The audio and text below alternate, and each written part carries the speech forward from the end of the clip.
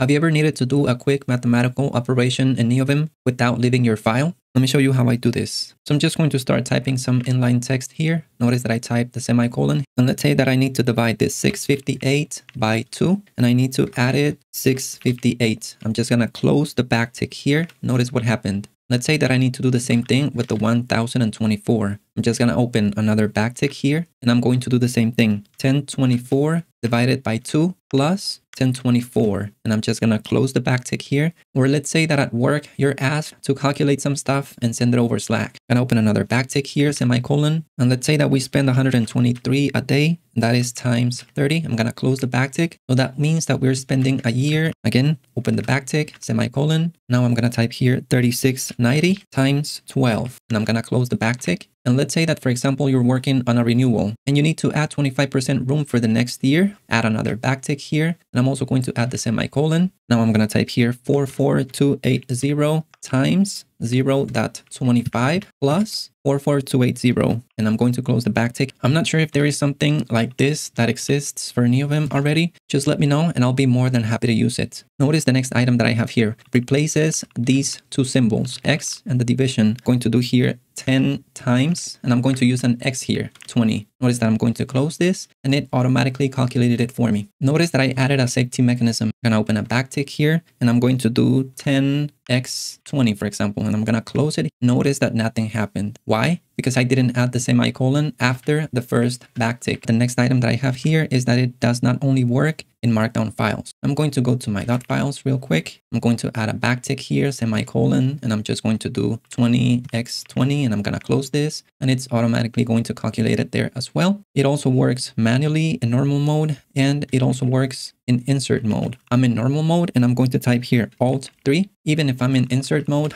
I'm going to type here Alt 3. Notice the next item that I have here, I'm using mini.pairs, which is a plugin that automatically closes your symbols. So for example, if I come here to the file and I type a parentheses, notice that I get the pair automatically. So what I did is that I disabled this for the backtick, and this is where I disabled that. I set it to false. Also, before I forget, let me show you where the code for this is. It's in my keymaps.lua file, markdown inline calculator.